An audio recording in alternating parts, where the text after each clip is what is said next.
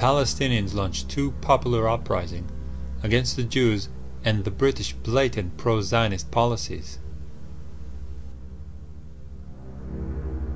The first took place in 1929 and claimed hundreds of Palestinians and Jewish lives. The second, in 1936, was practically a small-scale war between the Palestinians and the British, who were also aided by the Zionists. It lasted for three years, and in the end, approximately 5,000 Palestinians died.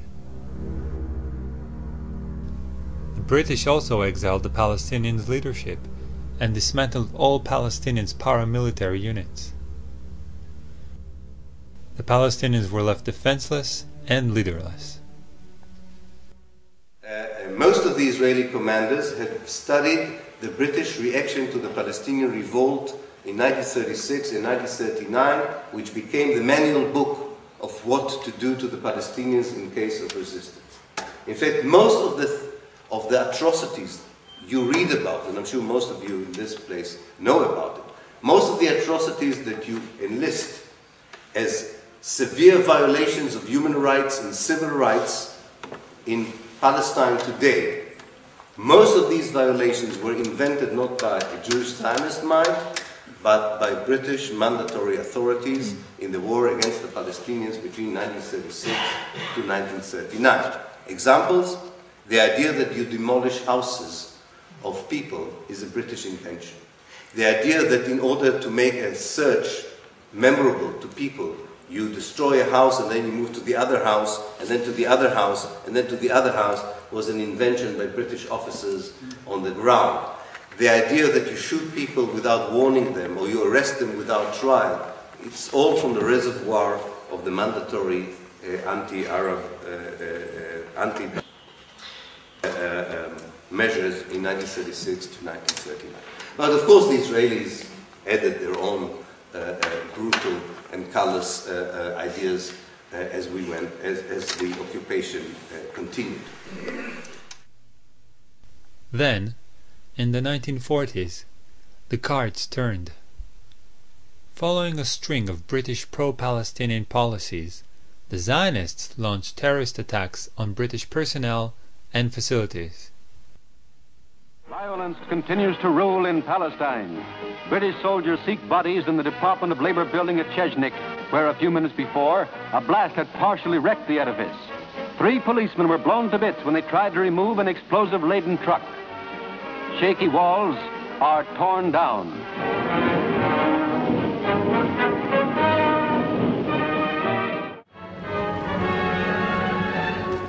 After a bomb explosion caused by terrorists on the British headquarters at Jerusalem, one entire corner of the King David Hotel, a building of seven stories, was razed to the ground. The stone floors were cut. 88 innocent people died, and a good deal of the British High Command was wiped out. Their goal was to drive the British out of Palestine. The mastermind of the King David bombing was Menachem Begin he would become Israel Prime Minister.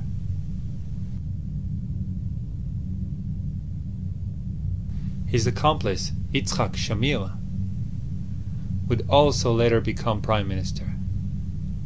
The pattern of terrorists, or, in other words, brutal military leaders transforming into top politicians, is very common in Israeli politics.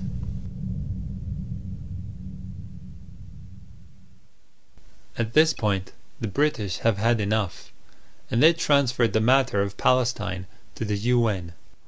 The United Nations uh, sent a uh, committee to evaluate this in the summer of 47, and they recommended partition.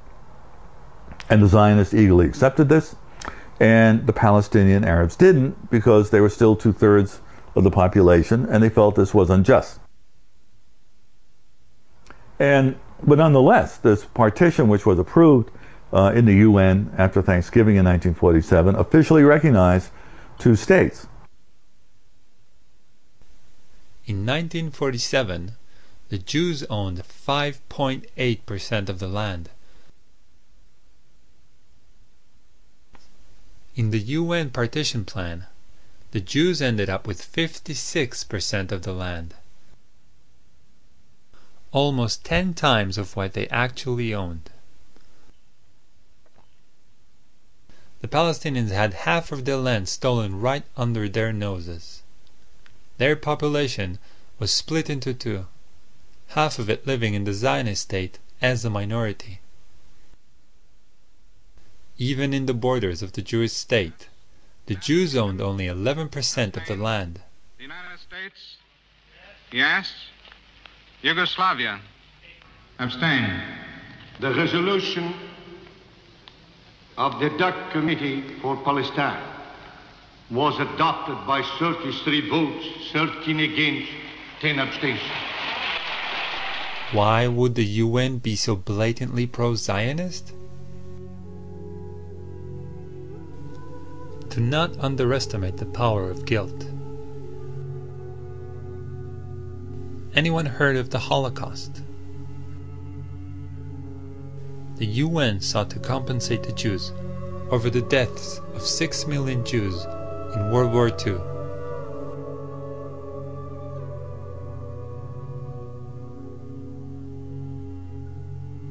Murdered by the Germans.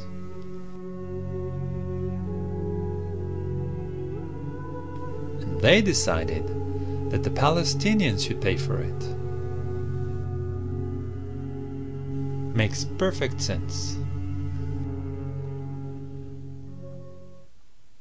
However, this amount of land, more than half of Palestine, was still not enough for the Zionists. David Ben Gurion, the leader of the Zionist movement in Palestine, wrote in 1937 The Arabs will have to go. But one needs an opportune moment for making it happen, such as a war. The Palestinians had no desire to fight the Zionists or start a war.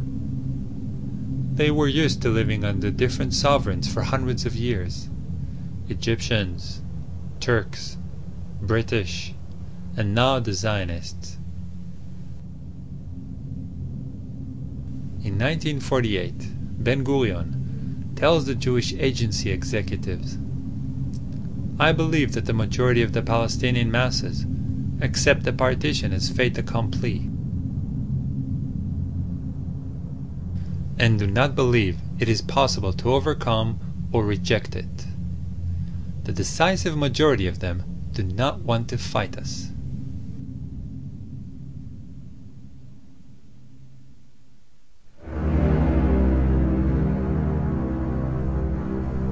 Towards the end of 1947, the Zionist leadership came together and drew Plan Dalet.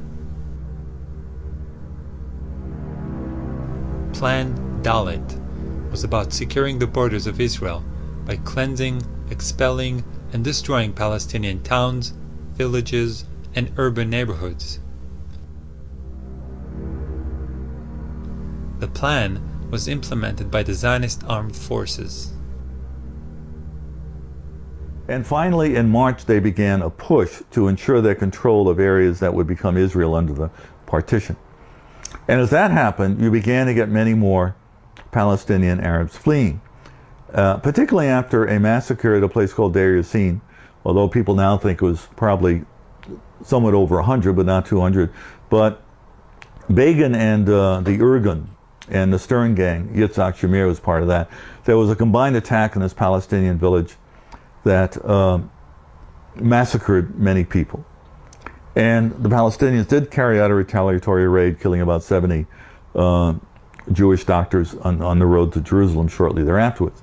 But after that, you had mobile radio vans that Begin put into play, uh, threatening more Deir if the Arabs didn't flee. In other words, you'll be massacred just like Deir. So it became part of the propaganda.